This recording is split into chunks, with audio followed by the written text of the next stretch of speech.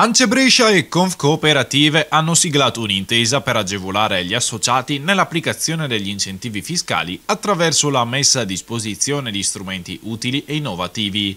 Gli obiettivi sono quelli di ottimizzare l'opportunità offerta dal super bonus 110% e favorire il processo di riqualificazione edilizio. La parola d'ordine, secondo il presidente di Ance Massimo Del Dossi, è fare sistema. Questa è una cosa a cui tenevo particolarmente perché è importante proprio moralmente, ritengo importante far sì che questi soldi atterrino alle persone che ne hanno più bisogno e in questo il terzo settore con il bene che fa al nostro, al nostro paese, alla nostra società eh, ritengo sia importante poterlo aiutare anche in questo modo. Conf Cooperative invece ha promosso questo accordo per consentire alle cooperative aderenti di avere interlocutori affidabili. C'è un mondo che eh, ha a che fare con immobili, con spazi, case di riposo, asili, strutture che possono rientrare in questo, è importante avere un accordo serio con un'associazione seria che garantisce la puntualità della, del, dei servizi che verranno eh, sviluppati.